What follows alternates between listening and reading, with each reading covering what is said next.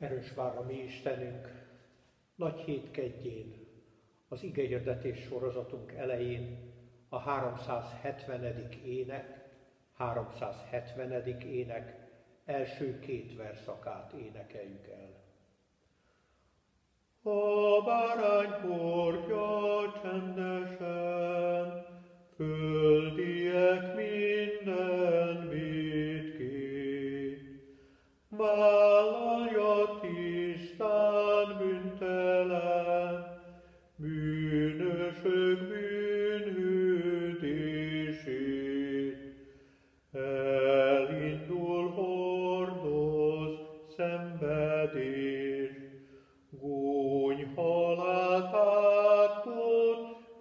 megvetés, nem kíván könnyebbséget.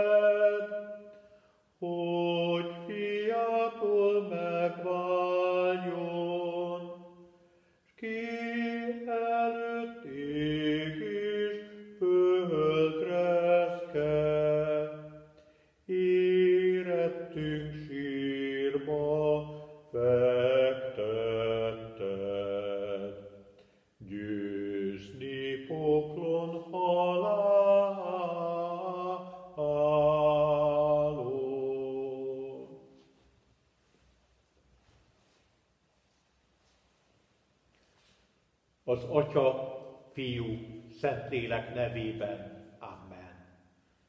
Áldott, aki jön az Úr nevében, Jézus Krisztus Isten és Mária fia, aki növeli hitünket, aki erősíti reménységünket, aki szeretetet gyújt bennünk.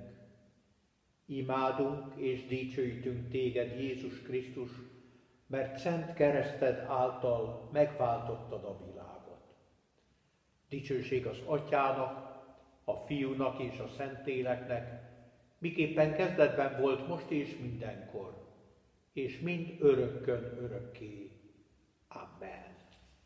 Áldott, aki jön az Úr nevében, Jézus Krisztus, Isten és Mária fia, aki kezdetben a atyánál volt, akit Mária fogant a Szentlélek által, aki értünk emberré lett az idők teljességében, aki mennyei seregek dicsérnek a magasságban, aki békességet hoz minden embernek a földön. Imádunk és dicsőítünk téged, Jézus Krisztus, mert szent kereszted által megváltottad a világot. Dicsőség az Atyának, a Fiúnak és a Szentléleknek, miképpen volt kezdetben, most és mindenkor, és mindörökkön örökké. Amen. Áldott, aki jön az Úr nevében, Jézus Krisztus, Isten és Mária fia, aki megmosta a tanítványok lábát, aki vére által új szövetséget kötött, aki értünk a halál félelmet is elszenvedte, aki értünk a keresztet hordozta, aki elvégezte a megváltás művét a kereszten. Imádunk és dicsőítünk téged, Jézus Krisztus, mert szent kereszted által megváltottad a világot. Dicsőség az atyának, és a fiúnak, és a Szentléleknek, miképpen volt kezdetben, most és mindenkor, és mind örökkön örökké. Amen.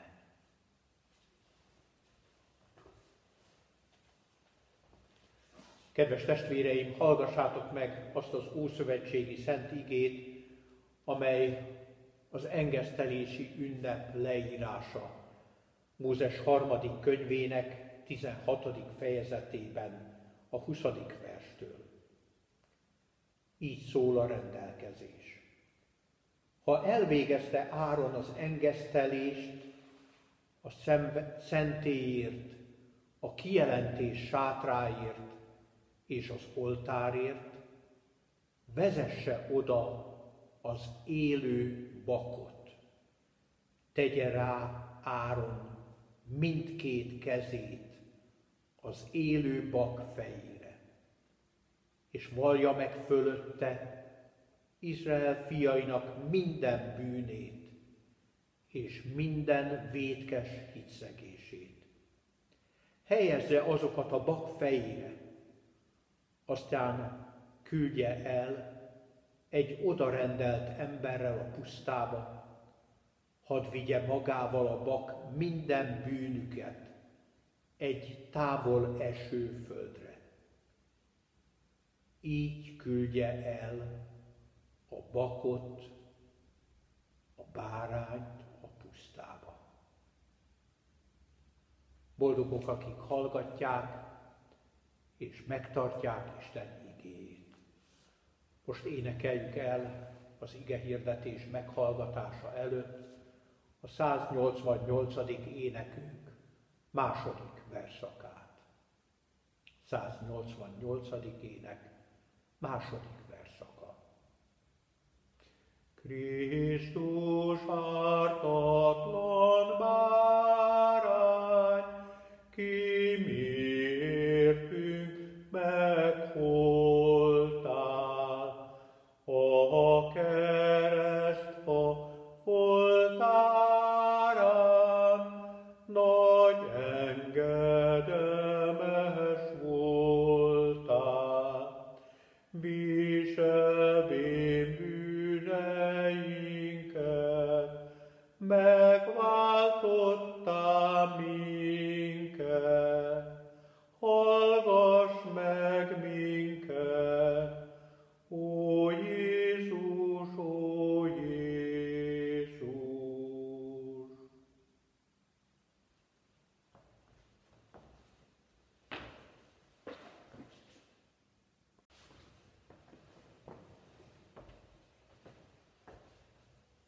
Kegyelem néktek és békesség Istentől, a mi atyánktól, és a mi Urunktól, a Jézus Krisztustól. Amen. Csendesedjünk el, és imádkozzunk. Urunk Istenünk, ma is az evangélium szavára figyelünk. Taníts bennünket arra, hogy nyitott szívvel olvassuk a passió történetét, és ajándékozz meg bennünket az új élet ajándékával, miközben mi szenvedésedre tekintünk, te formáld bennünk az újat, szereteteddel és hatalmaddal. Amen. Kedves testvéreim, hallgassátok meg a mai napra választott evangélium ígét, amint azt megírva találjuk Lukács evangéliumának 23. fejezetében, a 39. vers és a 43 vers közötti részben a következőképpen. A megfeszített gonosztevők közül az egyik így káromolta őt. Nem te vagy a Krisztus? Ments meg magadat és minket is. De a másik megrótta, ezt mondva neki. Nem féled az Istent, hiszen te is ugyanazon ítélet alatt vagy, mi ugyan jogosan mert tetteink méltó büntetését kapjuk, de ő semmi rosszat nem követett el. Majd így szólt, Jézus, emlékezzél meg rólam, amikor eljössz királyságodban. Erre ő így felelt neki. Bizony, mondom néked, ma velem leszel paradicsomban. Amen. Keresztény gyülekezet, szeretett testvéreim az Úr Jézus Krisztusban, Krisztus ártatlan bárány. Énekeltük az előbb a jól ismert urvacsorai éneket, amelyet az urvacsorai liturgiában szinte mindig éneklünk. De ennek a második verszakát énekeltük most.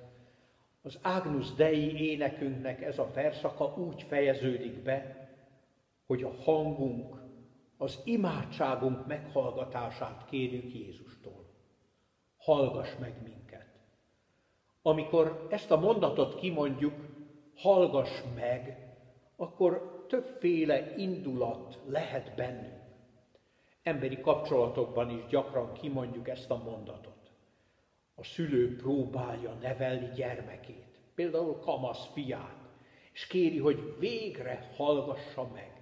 Ott van a szavában a könyörgés, ott van a félelem, hogyha nem hallgat rá a fia, akkor rossz útra indul. Hallgass meg. Máskor egy ifjú próbálja megvallani a szerelmét egy számára kedves lánynak. És ott van a szívében a remegés, hogy vajon meghallja-e a remegő, bizonytalan szót, az érzelmek megvallását az, akinek azt elrebegi. Hallgass meg!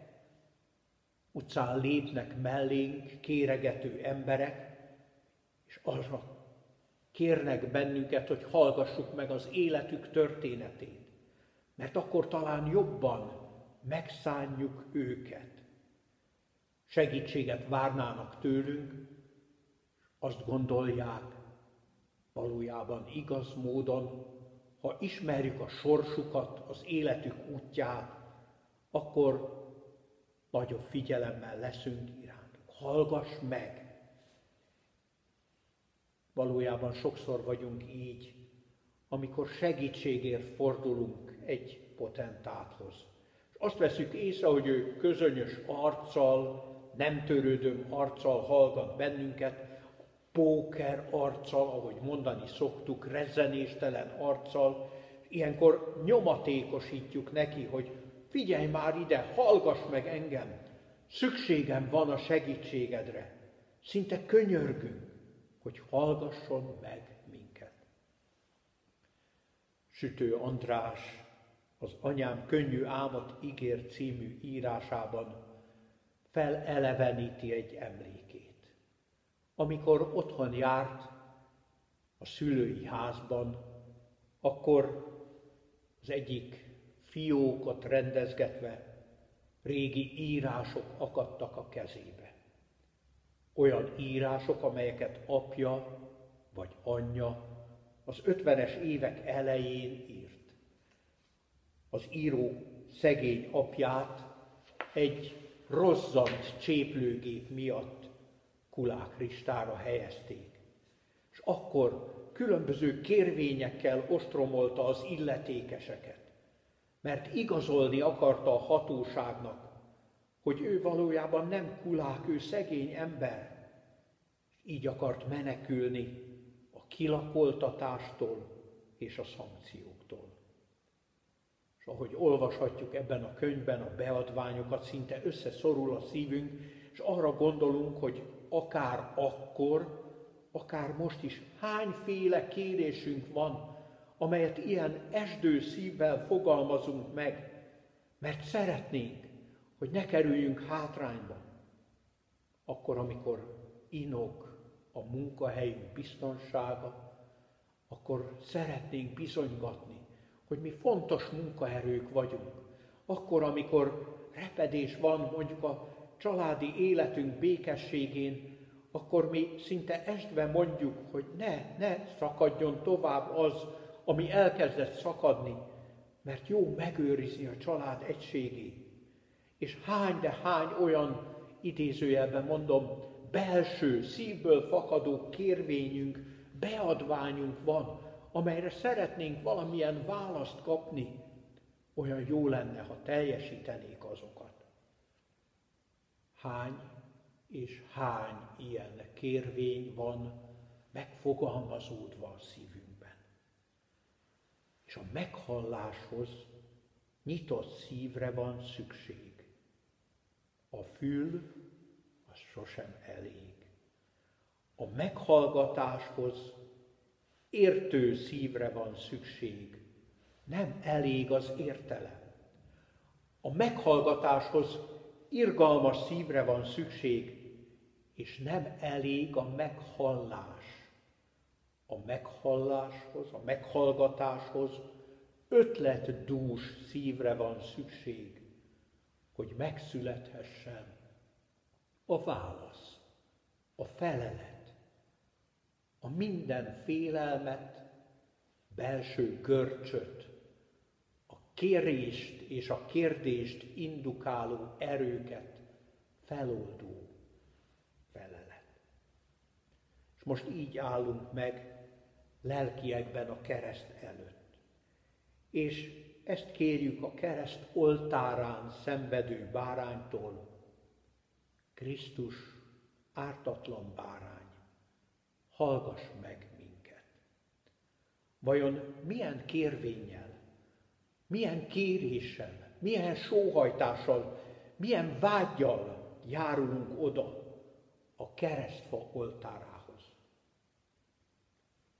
Nem sokaknak volt ott Jézus felé kérése. Akik ott álltak a kereszt tövében, azok vagy szörnyűködtek, vagy csodálkoztak, netán unottan ásítottak, elvégezték a napi teendőjüket. És mégis elhangzik egy-két kérés a kereszten függő felé. A kereszt alatt álló tömegből is felcsendül a csodaváró kérés. Ments meg magadat, szállj le a keresztről. Csodát várnak ezek az emberek. Látványos jelre vágynak. Arra ácsingóznak, hogy valami történjen. Valami, ami megrenget ott mindent.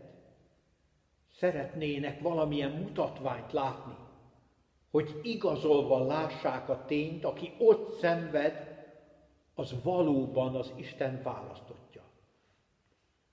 Nikos Kazanzakisnak, a görög írónak éppen 60 évvel ezelőtt jelent meg a csodálatos regénye, Krisztus utolsó meghittértése címmel jelent meg magyarul is. Ez a regény valójában ezt a kérdést is feszegeti. Vajon mi lett volna, ha Jézus ezeknek az embereknek a kérését meghallgatja, és az ő elvárásaikat teljesíti? A látomásban, a keresztről leszálló Jézus átsétál az ámélkodó tömeg között, és éli tovább a hétköznapi életet. Nem véletlen az utolsó megkísértés a regény címe. Jézus egy alkalommal így jellemezte a körülötte lévő sokaságot, ha csodákat és jeleket nem láttok, nem hisztek. És ezzel mutatott rá az ember gyengeségére, arra, az ember számára, de valljuk be nekünk is, valamilyen mutatvány kell ahhoz, hogy erősebben higgyünk. De ő számtalanszor bebizonyította, hogy a csodaváró kísértés hangját nem fogja meghallgatni.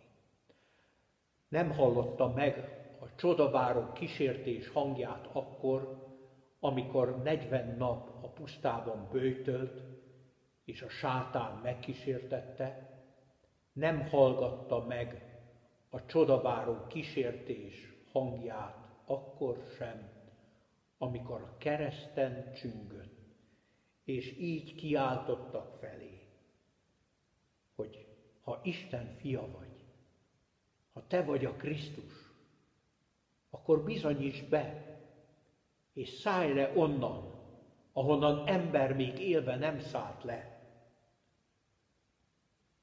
ezzel a kéréssel, ezzel az igényel mordul felé az egyik lator is. Így kiállt hozzá. És nem, ezt a szót nem hallgatja meg az Úr.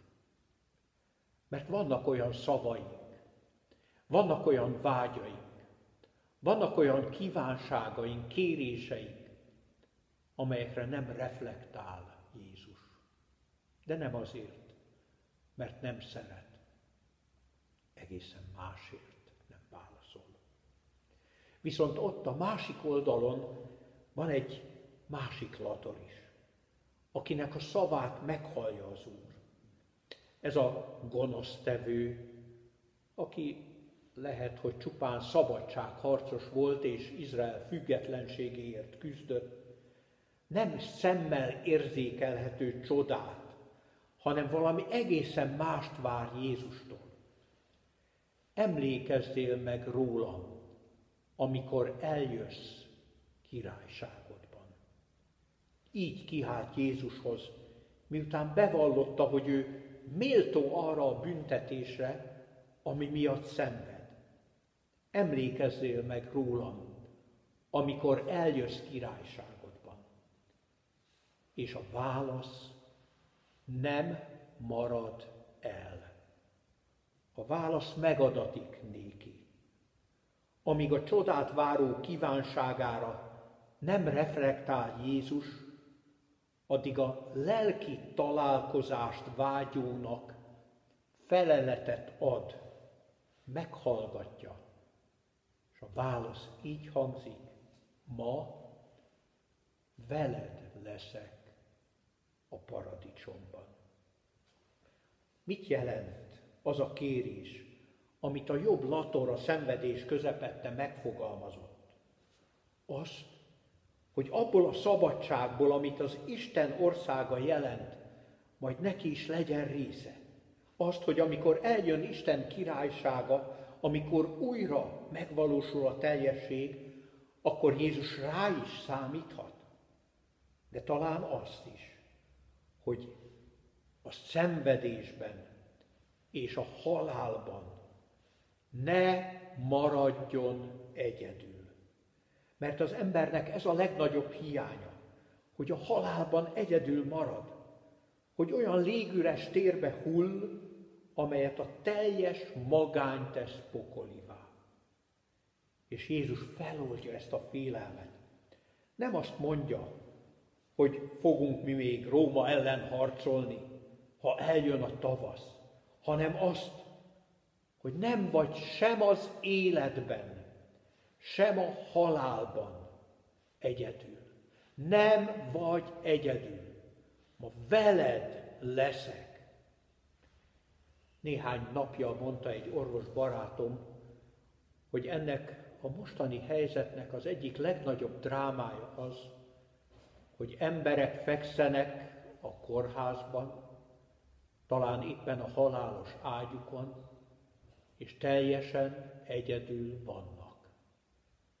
Ennek a mostani helyzetnek az a legborzalmasabb vonása, hogy szeretett otthonokban vannak emberek, vagy az otthonukban karanténba zárva vannak emberek, és egyedül halnak mert az életet még csak el lehet egy darabig viselni magányban. De a halál partján feszíteni kezd a félelem, a teljes magánytól való félelem. Mint ahogy ott feszíteni kezdte a latrot is. Emlékezzél meg rólam. Gondolj arra, hogy én is vagyok valaki. Ne nézd azt, amit a többiek látnak, hogy én egy senki vagyok, egy utálatos gonosztevő, hanem nézd rám, tekints valakinek.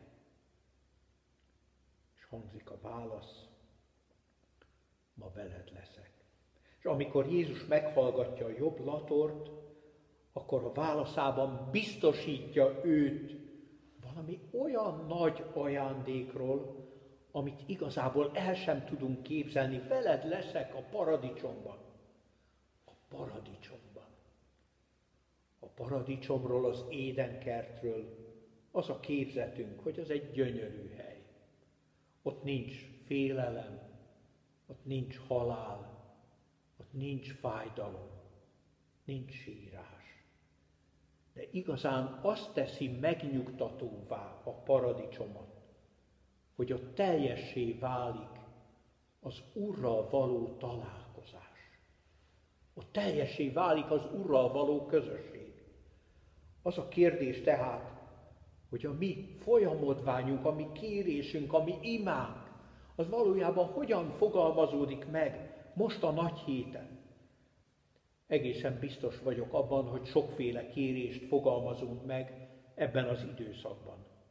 Múljék a járvány, múljék a veszély, legyen ereje az egészségben ügyben dolgozóknak, mi meg ne betegedjünk, ne érjen akkor a kár bennünket, hogy ne tudjunk talpra állni, hogy találják meg már végre a gyógyító vakcinát. Milyen kérdésünk lehet, mennyi kérdés van a szívünkben, és talán mindegyikre azt válaszoljuk, amit az általános könyörgő imádság feleleteként oly sokszor mondunk, Urunk, kérünk, hallgass meg minket. De talán meg tudjuk fogalmazni azt is, ad Uram, hogy az a veled való közösségem ebben a helyzetben is erősödjön. Mert hiányzik a lelkesítő közösség, hiányzik a lelket tápláló szentség. Talán meg tudjuk azt is fogalmazni, hogy ne maradjunk teljesen egyedül. Urunk, ebben a helyzetben emlékezzél rólunk, emlékezzél ránk, tekints ránk, hogy legyünk számodra fontosak. És akkor hangzik a válasz, mert ő az Isten báránya, bár némán tűrte, hogy nyírják, mégsem néma. Némán tűrte a szenvedést, de a jobblatornak választ ad. Nem csak a paradicsomban, hanem minden napon veled vagyok, a világ végezetéig. Micsoda drága szó ez. Nagyszerű válasz. Olyan jó ezt meghallani. Veled vagyok. Veled leszek a paradicsomban, és veled vagyok a világ végezetéig, minden napon. Ezt ígéri neked is a bárány, ha kéred, hogy hallgasson meg téged. Énekeljük ezért, örömmel, belülről fakadó, teljes bizalommal. Krisztus, ártatlan bárány hallgass meg minket. Amen. Isten békessége, amely minden értelmet meghalad, őrize meg szívünket és gondolatainkat a Krisztus Jézus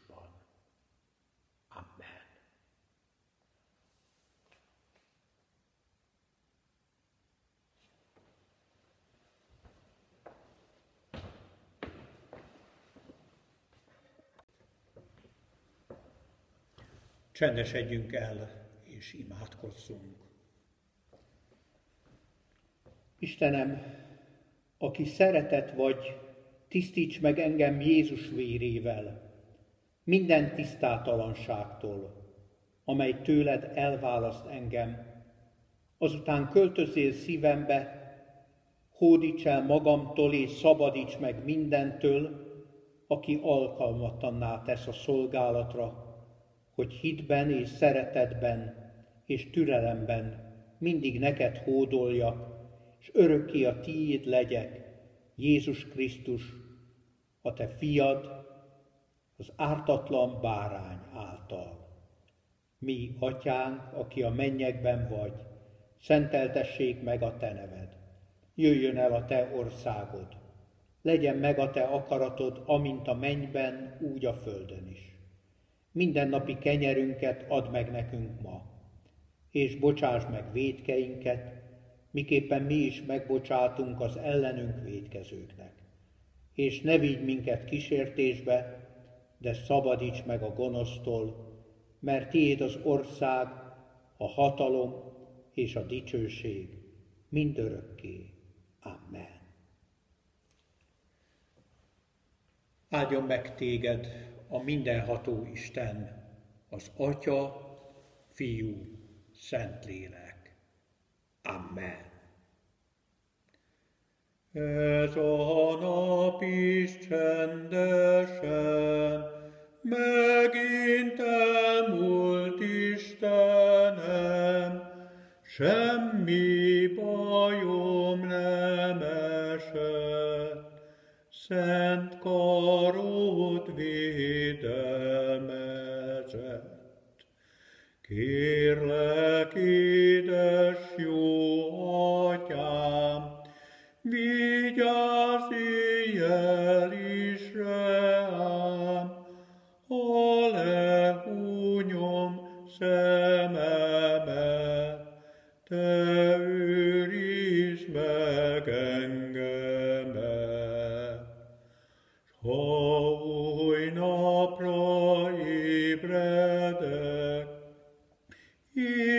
és tovább így élhetek, úgy vezessen szent kezed, hogy szerethess engemet.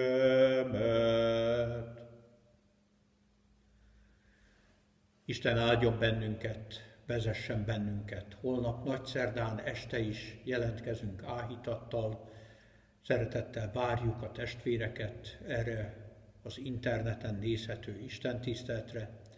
Nagy csütörtök estéjén, nagy pénteken és husvét mindkét ünnepén pedig külön Isten tiszteltünk lesz, amelynek a megtekintésére megint csak várjuk a testvéreket. Isten áldása kísérjen bennünket. Legyen velünk az Úr minden utunkon. Erős vár a mi Istenünk.